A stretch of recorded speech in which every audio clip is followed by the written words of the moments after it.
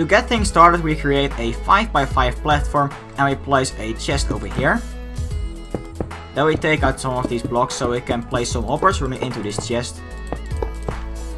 Then we place some half slabs on top of these hoppers. Place 4 blocks like this. Remove these 3 blocks. And create this shape.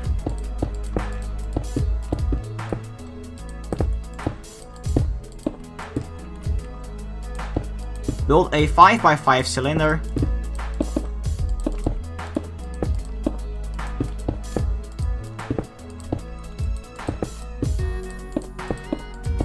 and this is going to be 8 blocks high.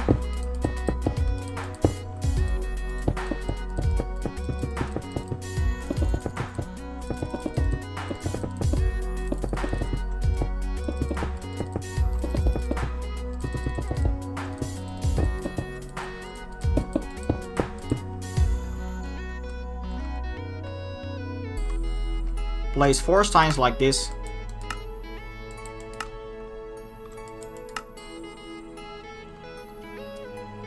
a sign over here. Lava over here. And another sign over here.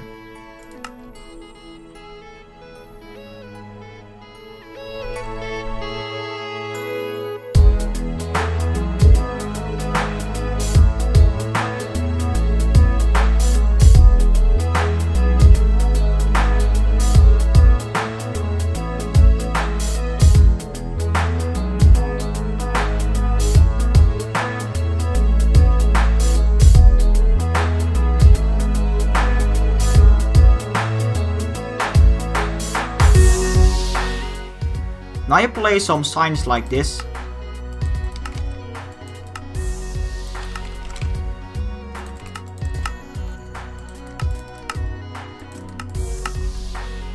And you place water in each corner. And now it's time to place down your mob spawners. And you can do that with a spawner block or with a command block. And I choose to do it with a command block. And you can find this command in the description if you want to check that out. And the cool thing is that you can have multiple spawners.